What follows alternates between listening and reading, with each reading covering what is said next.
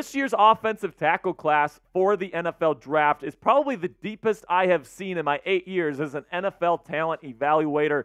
Uh, and I definitely think that sitting at in the round second round here for the Washington Commanders, they have pick number 36 and number 40. There's going to be somebody there for the Commanders to take that I think is going to be a long-term starter for this team in the trenches for years to come. Before we get into my offensive tackle rankings today and which offensive tackle prospects this team should target in round two of the NFL draft or beyond. Make sure you guys click that thumbs up icon for more positional ranking videos right here on the Commanders Report. We already have an edge rusher one on the channel. You can check that one out after today's show. Uh, but make sure you guys click that thumbs up icon if you want us to keep giving you this type of content.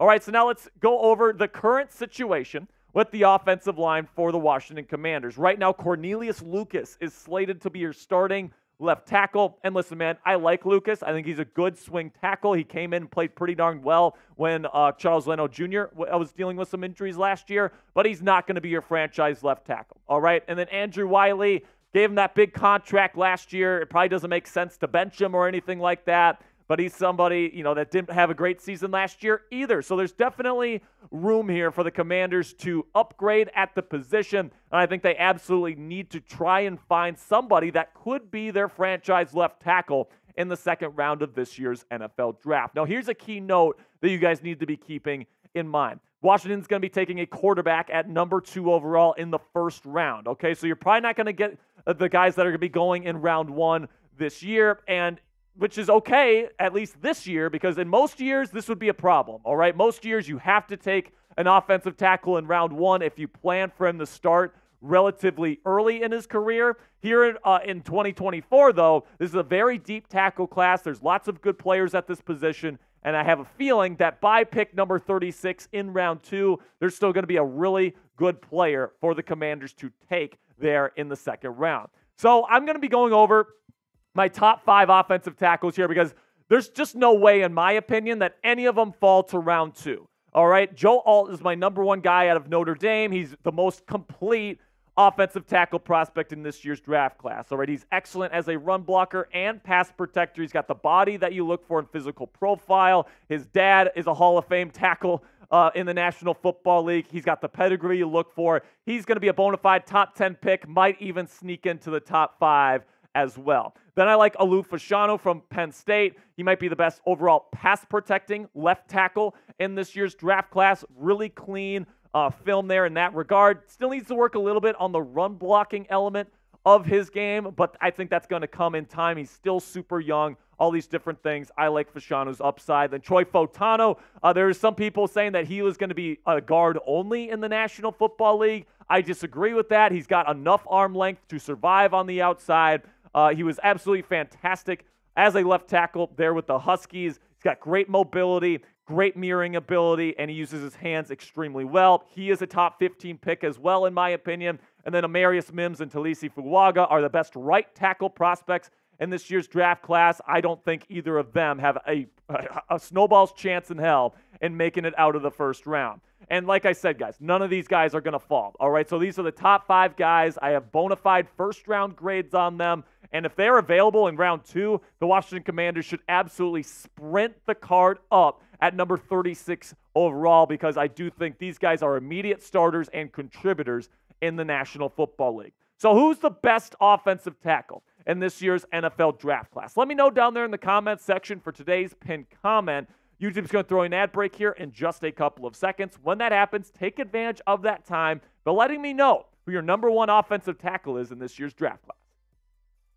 Now we get to the guys that could potentially fall to the Commanders in round two, starting with J.C. Latham out of Alabama. Now there's a, a, very good chance Latham ends up getting taken in round one as well. He's got he's a behemoth of a human being, man. Absolutely huge, mauling run blocker. Now the reason why I say that he might slip to the second round is because he's still a little bit raw as a pass protector, which is why I have a late round one grade on him, and it's definitely possible he is there at number 36. Now, if you were, if I were a betting man, I would say he's probably gone by then, but there is a chance that the Commanders could take Latham at the top of round two. Then number seven on my list, I have Tyler Guyton, somebody that's extremely raw. He did not have a good week at the Senior Bowl. I know people like Daniel Jeremiah were calling him a winner because he he was he, I mean he was moving extremely well and the measurements were really good. He's got super long arms, an incredible frame, and he moves extremely well.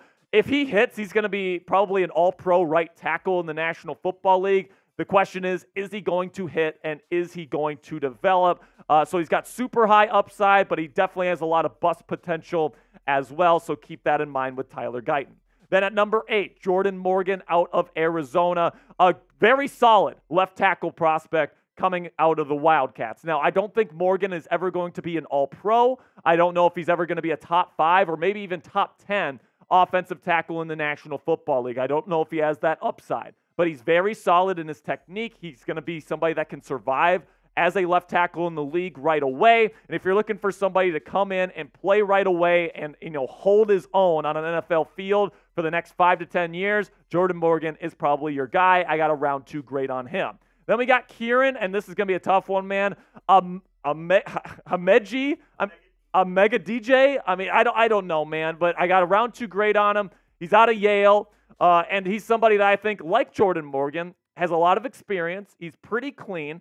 Maybe doesn't have the high end upside as some of the guys in my top five, but he's somebody they could probably grab to be a legitimate NFL tackle from day one. All right. So I, he's not the biggest upside guy in the world, and he's got a name that I would definitely have to learn if he came to the Washington Commanders, but I do have a round two grade on him as well. And then to round out my top 10 here, I got 10 tackles with a round two grade or higher. And we're going to finish it out with Blake Fisher here, who, like Jordan Morgan and Kiran, he is somebody that's ready to play right away, in my opinion. I think that he's got good film, maybe not great film. He still has a little bit of a ways to go in terms of his development, but he's got all the physical upside that you want. Plus, he's got uh, plus he's got pretty darn good film as well. You know, he's probably a right tackle only. I don't know if he can move over to the left side, which is why he's 10th whereas Morgan and Kiran can play on the left side, so they get the edge a little bit there. But I really like Blake Fisher.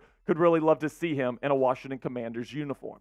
Now, before I get into the rest of my list today, go ahead and check out our friends at Fanatics. And listen, man, the Dan Quinn era is here. And we know Dan Quinn loves to rock that backwards hat on the sidelines. I don't know if he's going to be doing it for the Commanders now that he's head coach, but man, you can rock this look on game days and you would look damn good. All right, so you can go chatsports.com slash DQ right now to get a Commanders ball cap on sale right now from our friends at Fanatics. And you can be ready to rock that backwards hat look during Commanders game days this year. You can lock that in right now by going to chatsports.com slash DQ. If you use that link, Fanatics will know that we sent you. Then we get to the final three on my top 13 here. Round three grade for Christian Jones out of Texas. Now, like Blake Fisher, he's probably just a right tackle only, but he had arguably the best week uh, of any tackle at the Senior Bowl this year. I thought he played with really good technique. He won more of the one on ones than some of the other tackles, including Tyler Guyton, who's above him on this list. I think if you're looking for somebody that can plug in as either a swing tackle or as your maybe even starting right tackle to start right away, I think Christian Jones is pretty darn good out of Texas, and I would trust him on an NFL field. Then the final two guys here, I'm, you know, they're kind of more higher upside guys, potential starters, but, you know, I have serious doubts about their ability to develop. We'll start with Patrick Paul here out of Houston. Long arms, big frame, good athlete, all that stuff is there. The tape is not, all right? The technique is definitely all over the place, too many holding penalties. Uh, he's got a long, long, long way to go before he is a starting capable tackle in the league, but a lot of teams around the league are going to look at his athletic upside and bet on that relatively early in this year's draft. I'm giving him a round three grade. And then Kingsley Asua Mataya, I, I hope I'm saying that right. Uh, I think I probably nailed it there. Coop is, uh, producer Coop is uh, nodding at me here. Uh, so I have a, th- a, round three grade on him because similar to Patrick Paul, good athletic profile, massive human being, all right? And he's got the upside to potentially play on the left side as well in the National Football League. However, he does have a long way to go, just like Patrick Paul, at least in my opinion, in terms of his technique, his footwork, his hand placement, all that stuff that you need these guys uh, in order to win uh, at the NFL level. The edge rushers and their finesse moves and all the moves that they bring to the table are just too good to survive at left tackle with the way Kingsley plays the game right now. So I have a round three grade on him.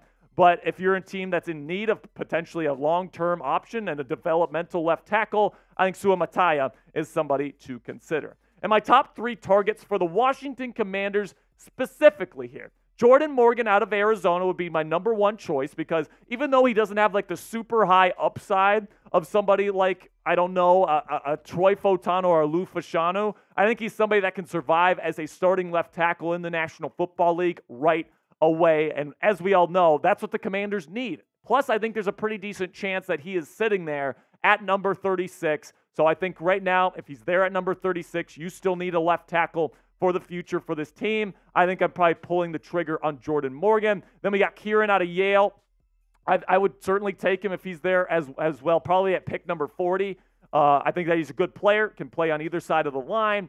Uh, and I think that he's a very solid player overall that I could trust on an NFL field. And then Blake Fisher. I, I, I, I really like Blake Fisher's game, man. When I watched his film, when I watch his film now, I see somebody that is an NFL tackle and he's going to get there. All right. He still has a little bit of these minor coaching points that he needs to get better at. But overall, his film is pretty clean for somebody that's expected to go on day two. And he's got all the physical upside that you want for somebody that's going to be entering the NFL this year. All right, so now tell me, let me know down there in the comments section, which offensive tackle do you want the Washington Commanders to draft this year? Let me know down there in the comments section which guy you're hoping is there for the Commanders to take in the middle rounds of the NFL draft this year.